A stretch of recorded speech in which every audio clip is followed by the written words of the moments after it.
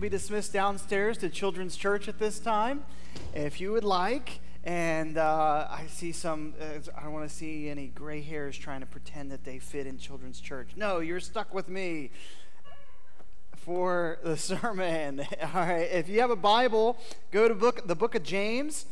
Uh, maybe you have an app on your phone you'd like to use. That's perfectly acceptable as well. Um, or there are some Pew Bibles there that you're welcome to use or um, take if, as a gift if you don't have one. We have been walking through the book of James for a few weeks now, and we are in verses 9 through 11 this morning. James 1, verses 9 through 11 this morning.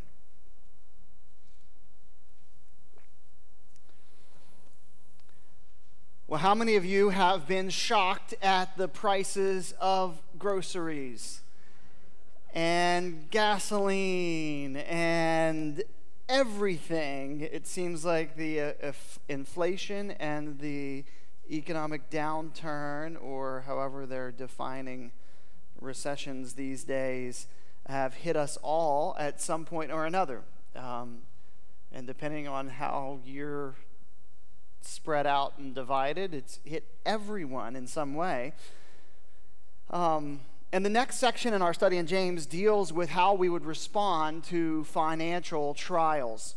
And, um, and as we've been talking, the theme in the first chapter of James is talking about our perspective in trials and how our perspective in trials really makes a huge difference of whether we just try to go through trials, which we all will and have and will in the future. Um, and we've, every, every human is either coming out of a trial in the midst of a trial or getting ready to go into a trial. And our perspective makes the difference of whether we just go through it or whether we grow through it, whether it makes us bitter or makes us better. And James addresses that to his church in the first few verses that they need to have the right type of thinking about trials. And then because we are humans, we don't have that perspective and that type of thinking we need wisdom. And so we're to pray not just to get out of trials or to God to remove the trial or to go back in time and change the trial, but for us to have wisdom in trial, in the trials, and how we're asking. And now he shows us this right perspective, what that's going to look like when the, that perspective affects our real world issues in our trials. And perhaps, as I mentioned this, as we gave some introductory remarks to the book of James, what were the trials that these dispersed, scattered in the diaspora, the, the scattered abroad Christians, what were the trials that they were facing? Of course, James says various kinds or diverse trials, um, but probably the two that they were dealing with was persecution and poverty. And so, if poverty being one, that would lend itself to this and keeping in the broader context here of chapter 1. So, one of the big ideas that James has is that we are, as believers in Jesus, the Lord and Savior, Jesus Christ, to have a wholehearted commitment that is consistent and uncompromising.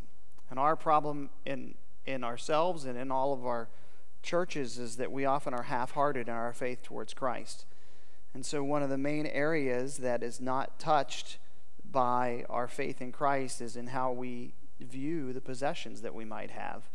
And it's not an accident that one of the main areas that we face trials in is in that area. It's a challenge to each of us and in our wholehearted commitment to Christ. And so this is a short paragraph with two major issues here. And so let's read it. And as we go to the text, remember this is this is it. This is what we set this is the authority. This is god his inspired inerrant word. So this is what we submit to. And so let's read this carefully. And we've already recited together the first four verses. I'll begin in verse 5 then. This is god's word. If any of you lacks wisdom let him ask of god who gives generously to all without reproach and it will be given him but let him ask in faith with no doubting. For the one who doubts is like the wave of the sea that is driven and tossed by the wind. For that person must not suppose that he will receive anything of the Lord. He is a double minded man and unstable in all his ways. Let the brother, let the lowly brother boast in his exaltation, and the rich in his humiliation, because like a flower of the grass he will pass away. For the sun rises with its scorching heat and withers the grass, its flower falls, and its beauty perishes. So also will the rich man fade away in the midst of his pursuits. This is God's word. Let's pray together. Father, we need you. We trust and believe that the Spirit of God is working in and with the Word of God, the sword of the Spirit. So we know you are here and you are working and you will use your Word. Lord, we ask that you would accomplish the purpose for which you've sent this to, in this day, in this context. Lord, I pray that you would let this text speak Lord, I pray that you would draw souls to yourself through it, that you would edify your church, that you would renew minds through this portion of your word today. Lord, I pray that we would all be more like Jesus for how we would submit and conform to this text. And we pray this in Jesus' name. Amen. Well, the overview of this paragraph for our purposes this morning will be this. We're going to look at two Christians, and that's an important interpretation that I'm believing that this is two believing um, believers. Two Christians, two different economic situations with one trial and the same solution. Okay? So, two Christians, two economic situations, one trial, and the same solution. That'll be our message this morning.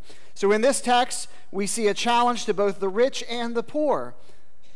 Um, but what is it related to? In the context, as I mentioned before, it brings this idea of trials. So it says there, verse 9, let the lowly brother or the brother of low degree, and one thing we want to make sure is that we don't miss what's there. I'm reminded um, that sometimes in Bible study we need to observe the obvious. It's kind of like in science, or maybe you're looking at the geese as they've been flying uh, I was watching soccer games yesterday and sawing these geese fly over, and they're flying in this V. And um, do you know why one side of the V is shorter than the other side of the V when they fly in that formation? Because there are more geese on that side. We're going to the deep things here this morning. No, what do we do? We, we automatically start thinking about how one's, I almost said one's breaking wind, um, how one is like cutting the wind so that the others can fly and they get in a formation so it makes it easier for them to do that. And, and, and we jump to those details rather than just the obvious that's there is, oh, there's more geese on that side, so it's longer and this side's shorter in that V. Sometimes when we come to the Bible, we just got to like let the plain things be the main things, right? So it says, let the lowly brother. This is a Christian. What is a brother? A brother is someone, a man or woman, a brother, a believer. This describes someone, a man or woman, whosoever will, that would belong to the family of God through Jesus Christ. John chapter 1 and verse 12. But as many as received him, to them gave he authority or power to become the sons of God. That offer is available to you today. That that to become a brother and sister that you are invited to believe and the only way that you come into this family is not by natural birth, because all of our natural birth was terrible. We are sinners by birth and by choice, for, for all have sinned and come short of the glory of God. The way we come into this family is by repentance and faith in Jesus Christ alone. There's no mediator between God and man, only one, Christ. He, Jesus said, I am the way, the truth, and the life. That whoever believes on him shall not perish but have everlasting life. And if you are here and you don't get anything else, that's it. You are invited to not miss that. Let the brother, that you can be part of that brotherhood, that sisterhood, to be a brother or sister by belief in Jesus Christ. How does one become a Christian? By repentance and faith in Jesus Christ. Let this lowly brother boast in his exaltation. This brother, this describes the person that the ones comes his family. The same word is paired with an orphan or widow. These, so these humble circumstances, and then the rich, and it says of the other, and it says and the rich, verse 10, and it's that the, the that noun is implied that the brother, the rich brother, would be implied here of his low position. So why does James bring up money when talking about a wholeness and a commitment to Jesus Christ in response to trials?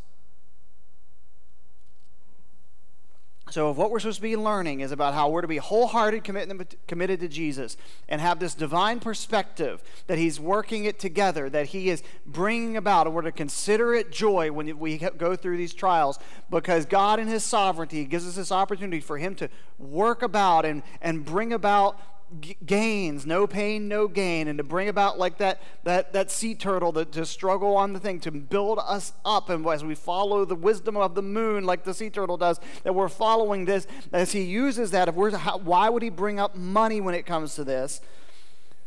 Money and the things that money provides often have a incredible lure for us to compromise in our heart in our commitment to Christ. We can't believe God that He is God if we have other gods in our lives. And we need a reality check. In fact, none of us would say we've made our 401k or our, our IRA or our bank account or our house our idol. Uh, but but we often would have things in whatever we find an idol is anything that we find beauty and security in outside of God we, we love and appreciate and are grateful for the wonderful gifts of God. They make wonderful gifts, they make terrible gods. Um, they, they are gifts, and we're to follow the ray of the sun back to the source and the giver. And so God often uses trials to wean us off and, and show us what we are finding security and beauty and safety in. They might not be bad things in and of themselves, but if we're finding our security and safety and beauty in things besides God, He often uses trials to bring us more into a wholehearted commitment to Him.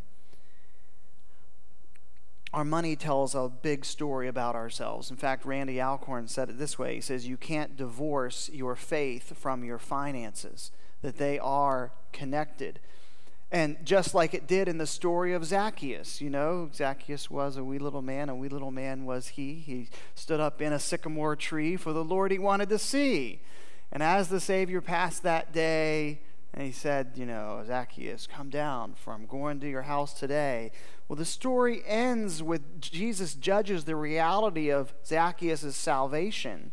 In Luke 19, he judges his repentance, he evaluates Zacchaeus' repentance by this. When Jesus calls this first fruit of his repentance in Luke 3, he says that he, he offers to go back and pay back those he has basically robbed or exploited with excess taxes. Um, he says in Luke 19 he's going to go pay back four times. There's a connection there. The rich young ruler in Matthew 19 and Mark 10 and Luke 18 he comes to Jesus and about what he always kept. I've kept all the commandments. I've done it all. And Jesus, knowing in his heart, says, Go sell what you have and give to the poor. Because Jesus put that point on there that, hey, you are finding satisfaction and safety in the covetousness of your own heart. And the scripture tells us he went away because he had great possessions. The rich young ruler.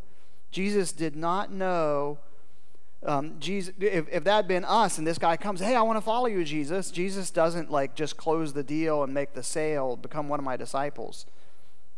Um, he, Jesus knew that this guy was coming to him with a divided heart. Um, Alcorn goes on to say there is a powerful relationship between your true spiritual condition and the attitude and actions concerning money and possessions.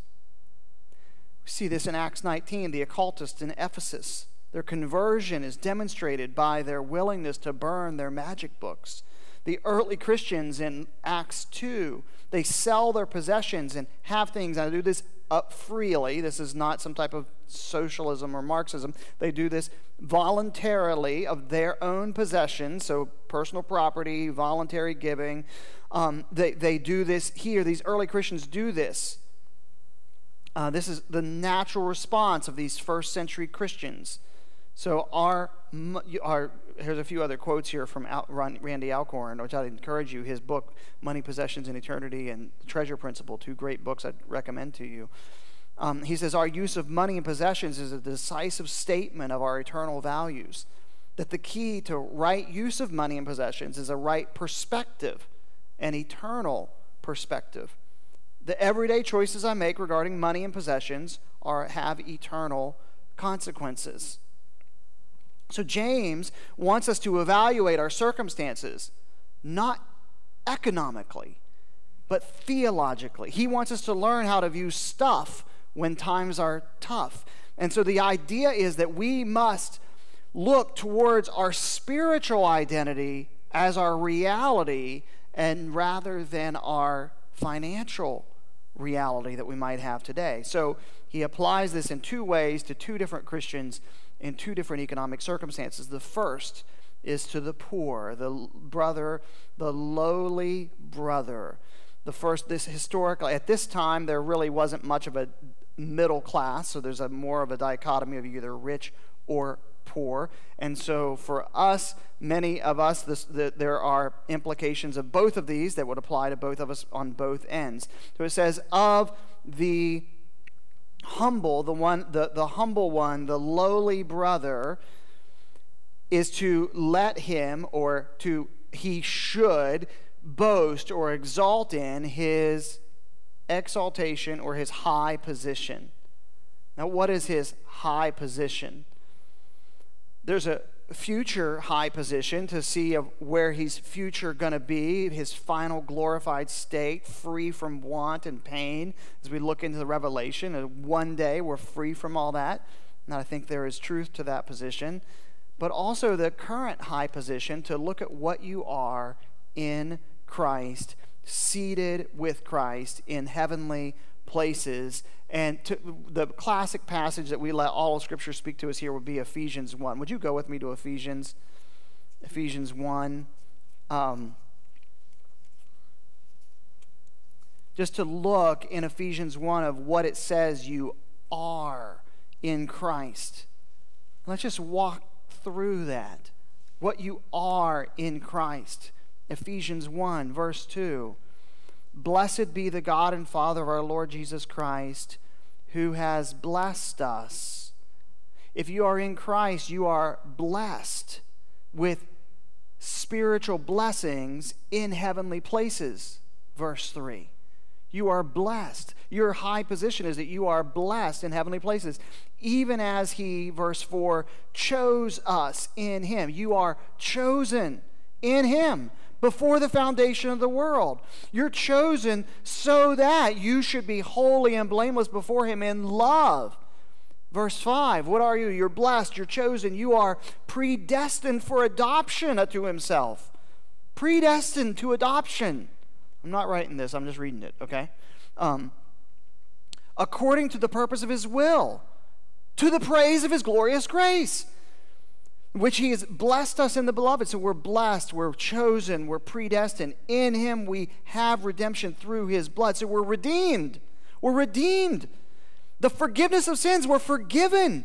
Trespasses according to the riches of his grace, which he lavished on us in wisdom, making known to us the mystery of the will, which he set forth in Christ, as a plan for the fullness of time to unite all things in him so, so we can see that we're, we're blessed, we're re- redeemed, we're predestined, we're chosen, we are lavished. We have he he reveals he has um, obtained. We have an inheritance that he's given to us, so that we who are the first of, to hope in Christ might be to the praise of his glory. In him also, you, when you heard the word of truth, the gospel of your salvation, believed and we're sealed. You're sealed. What are you? You're, you're, having, you're sealed with the promise, who is the guarantee of our inheritance until we acquire possession to the praise of his glory. You see it later on in the same verse 20 when it says, later on there, it says, He that works, raised him from the dead, seated him at his right hand in heavenly places. We're in this exalted high position in Christ. So, if you don't have stuff, if your stuff is diminished, boast, exalt in your high position. Think of what you are in Christ.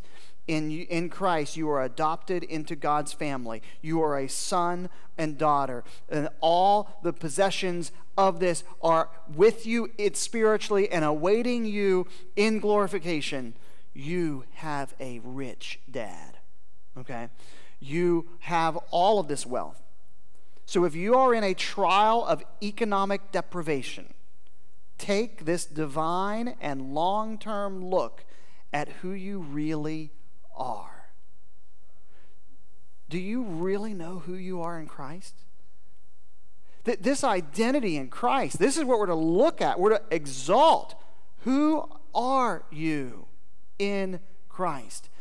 I would encourage you to go to this text, go to Ephesians, and bask in this. What am I in Christ?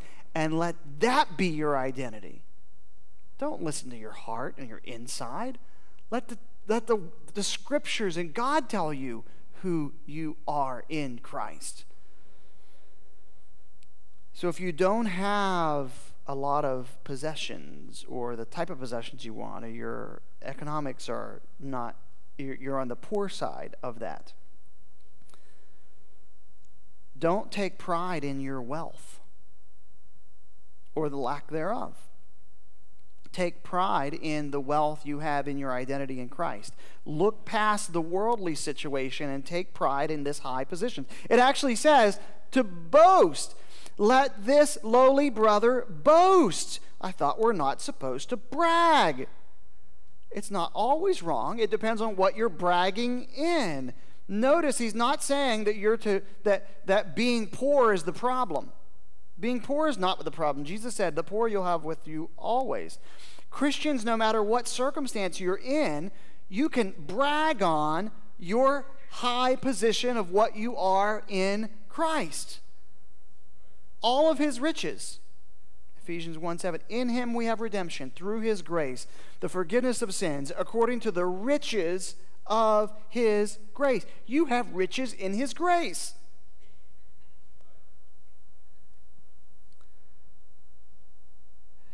Notice that James's message is not if you follow this wisdom and go through trials, you will become rich. What James is saying is that the wisdom that's from above will help you look at where you are from a biblical perspective, and you will realize that you are rich in Christ. It's all about perspective. So we are to boast in this. You say, okay, that's one passage where we're supposed to boast in this. Okay, I'll give you another one. Let's go Old Testament. Jeremiah 9, 23 and 24. Thus says the Lord, just in case you're wondering who's talking, okay? Thus saith the Lord, let not the wise man glory or boast in his wisdom. Let not the mighty man boast or glory in his might, nor let the rich man glory or boast in his riches, but let him who glories glory in this, that he understands and knows me. I am the Lord, exercising loving kindness, judgment, and righteousness in the earth, for in these I delight, says the Lord. We're to boast in that we know Christ, that we know God. So by faith, Christians are to look beyond this realm into the next. Paul would tell us in Philippians 3 For our citizenship is in heaven, from which we eagerly await the Savior, the Lord Jesus Christ, who will transform our lowly body, that it may be conformed into his glorious body. This is the challenge he gives to those who are in a poor economic situation. And then we come to verse 10 and the rich. Again, I say I believe this is a rich believer. This is a type of trial too. And some of you are saying, I really want to try, I really want to go through that trial, right? Of being rich. I mean, that's got to be really tough, right? Um, no. the problem, the trial that we face of stuff is that we think we own things, but in reality, things own us. Randy Alcorn calls this the tyranny of things. Ecclesiastes talks about this in Ecclesiastes 5. There's a couple famous guys that you've probably heard of. I'll read a few quotes from them about the trial of having wealth. Vanderbilt. He said that the care of $200 million is enough to kill anyone. There is no pleasure in it. John Jacob Astor, I am the most, most miserable man on the earth. John D. Rockefeller. I have made many millions, but they have brought me no happiness. Andrew Carnegie. Millionaires seldom smile. Henry Ford. I was happier when doing a mechanic's job.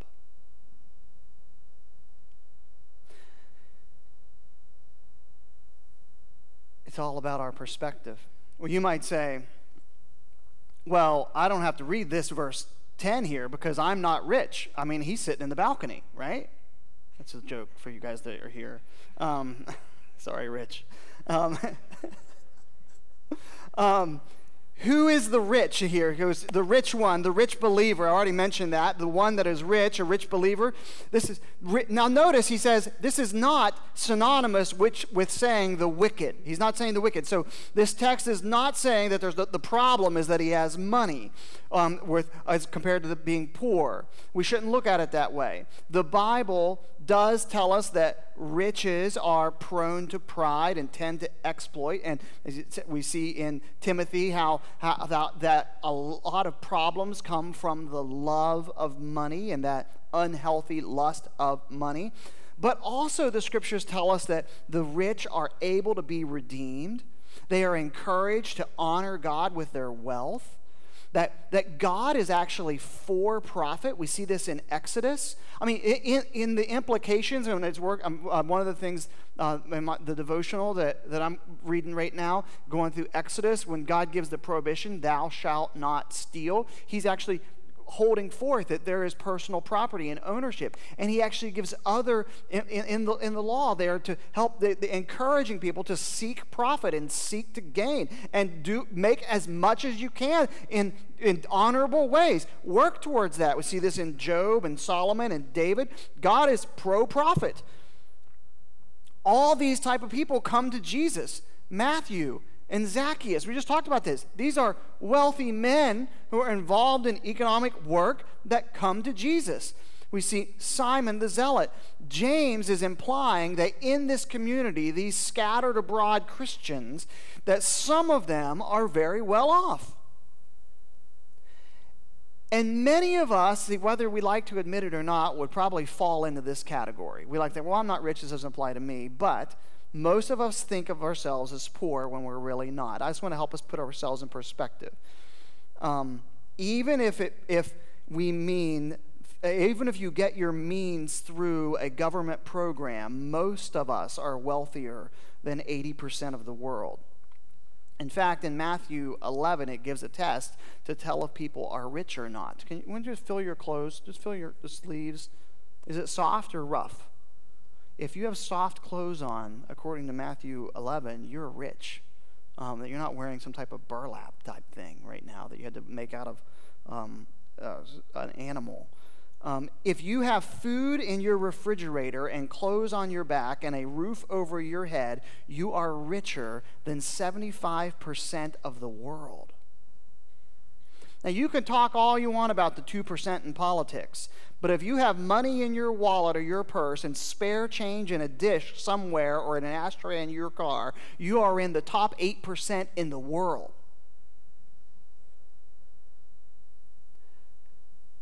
So, to the rich, he says, to the rich one is to boast, implied again, the lowly boast in exaltation, the rich to boast in his humiliation. To boast in your humble position. So, you are a slave to Christ. You, that is this identification with Jesus rather than the social position, the identity that comes with wealth, but your identity that comes in Christ identity that comes in Christ is in the world's estimation humble. What? Right. Oh, so and so's a multimillionaire. Wow. Oh, so and so's a Christian, and he's oh, wow. Oh, there, there's a humility that comes in there. Rightly recognize that your identity is in Jesus. This is what we are. If you're rich, so poor, find your identity in Jesus. Rich, find your identity in Jesus. And he gives an illustration and he gives a story about that illustration in verse 11.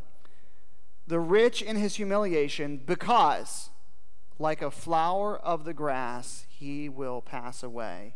For the sun rises with its scorching heat and withers the grass. Its flower falls and its beauty perishes. So will the rich man fade away in the midst of his pursuits. Whatever accolades, wealth, or status have on this earth, we should recognize as a flower of the field. Now, flower of the field this is a wild flower. It will pass away. The wealth, the status, the accolades that wealth brings are short lived. The glory of human wealth is short lived. So, if you have human wealth and stuff, realize that that doesn't give you real security. Christ does. Wealth and social status are transitory. So take pride in your low position. Don't boast in your social status. Don't boast in that. Don't find your security and safety and, and, and security in stuff or insurance. These are wonderful benefits, but they are poor gods. Find, take security, take boast in your identity in Jesus.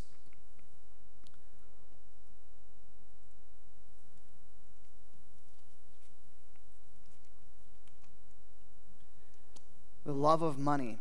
Those that would desire to be rich in 1 Timothy speaks of this. We're actually supposed to, to, to think upon this and, and to face this with our heart. Would you go with me to 1 Timothy? 1 Timothy 6. 1 Timothy 6.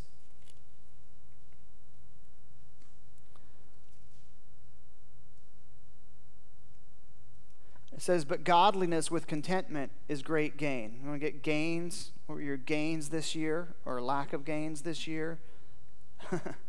godliness with contentment. If you have a walk with God, a relationship with God that produces a contentment in your heart, now that's when you got something. You got a gain there. Verse 7 of 1 Timothy 6 For we brought nothing into this world, and we cannot take anything out of the world. I've yet to see in real life the U Haul connected to the hearse. Verse 8 But if you have food and clothing, with these will we be content. But those who desire to be rich, those who desire to be rich will fall into temptation, into a snare, into many senseless and harmful desires that plunge people into ruin and destruction. For the love of money is the root of all kinds of evil. Notice it's not the money that's the root, it's the love of money that is the root of all kinds of evil. It is through this craving, it's a craving that some have wandered away from the faith and have pierced themselves with many pangs. All of our stuff is temporary. The illustration, the verse 11 that James uses, is this how this wildflower, this flower of the field, dies. It goes away, it withers, and it is gone, it fades away. um, little boys love their mamas, right? And mamas love their little boys. And when we used to, our, our yard at our house we had before we came here, we had dandelion problems.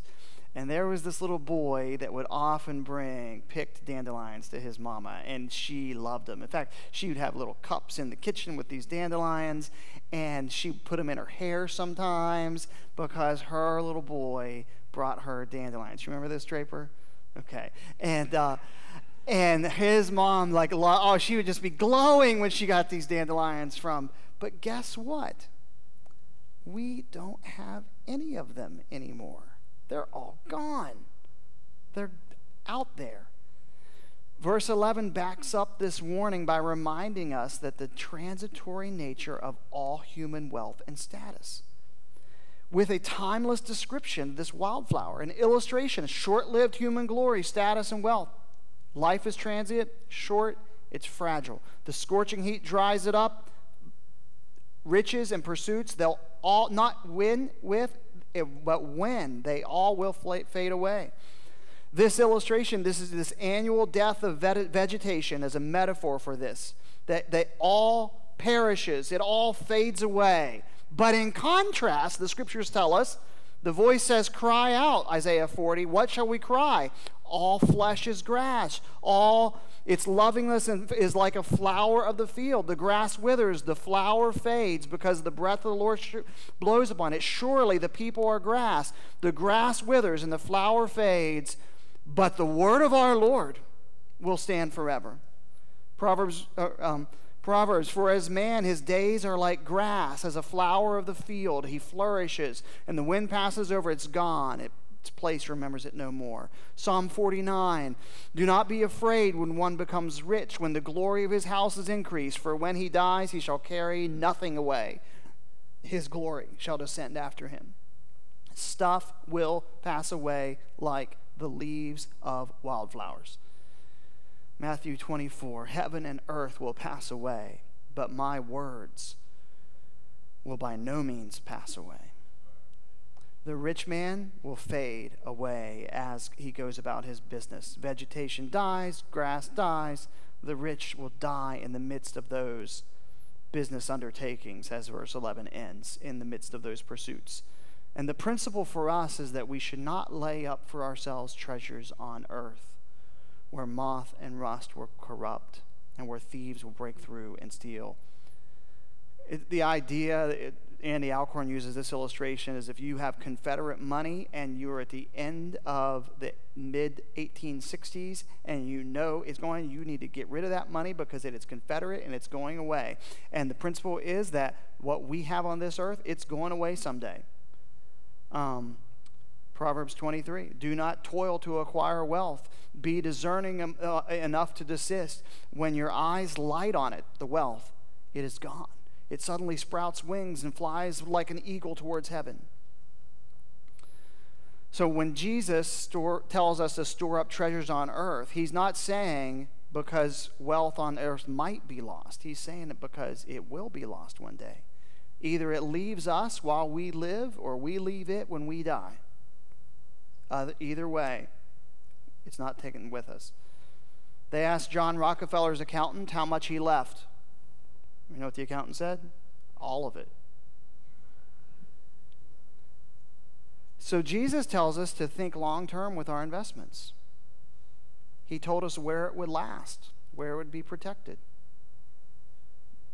Jesus wasn't against self interest in this way. Lay up for yourselves treasure, but make, do it where it's going to last. You can't take it with you, but you can send it on before you. So this this trial, two men, two Christians, two economic situations, same solution as we conclude. The passage addresses two types of Christians and how they view stuff when times are tough. Both are exhorted to look towards their spiritual identity as their reality, as the significance. Both are to see their current temporary status from God's perspective. So if you're poor, don't let the world look down on down their nose and judge you. like you're not educated or skilled or you're some, you know, weirdo clinging to your guns and religion or something like that. Take pride, glory, boast in the exalted spiritual riches you have in Christ.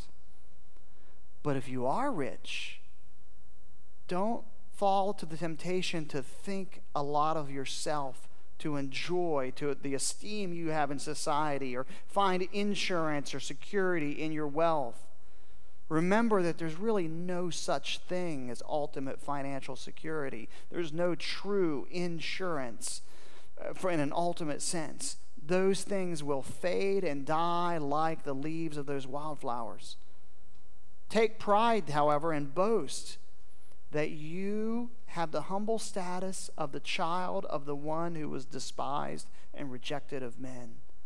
Christians should always look and evaluate their situation from the spiritual perspective, not the material, and have this be our reality. And this is so countercultural to our world.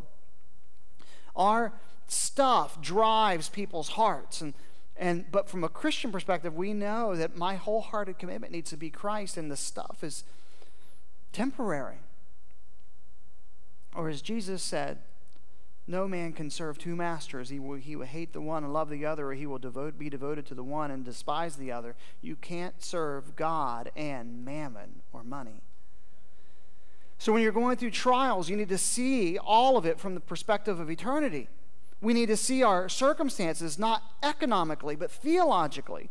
Have the right perspective, the real perspective, the ultimate perspective, divine perspective. So, in the midst of financial trials, we are to take a long look at who we are in Jesus and how short lived human wealth is.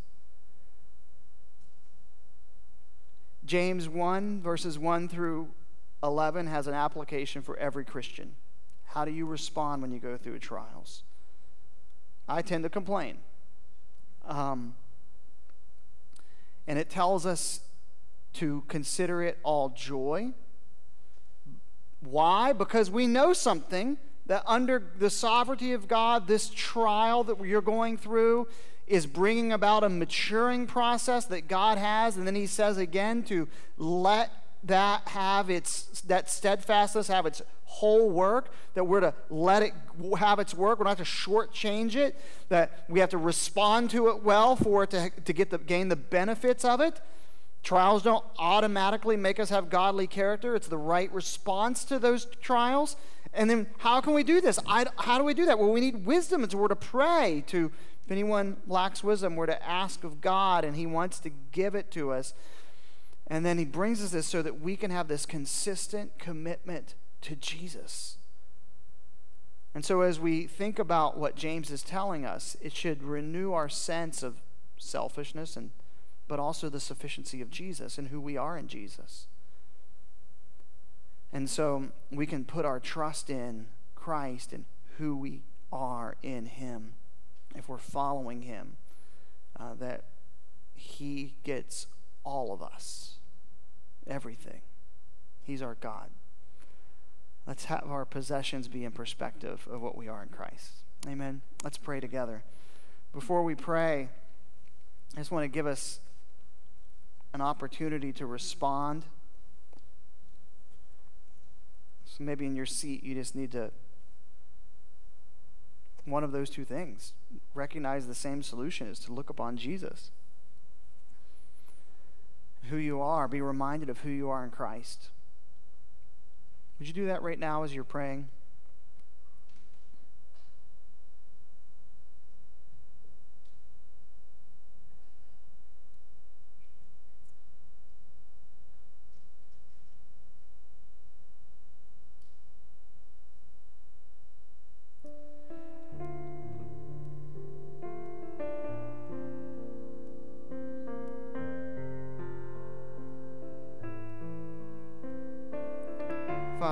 You for the truth of this text. Lord, that no matter what our circumstances are with possessions and wealth, that we're to look at it from your perspective, that we're to glory in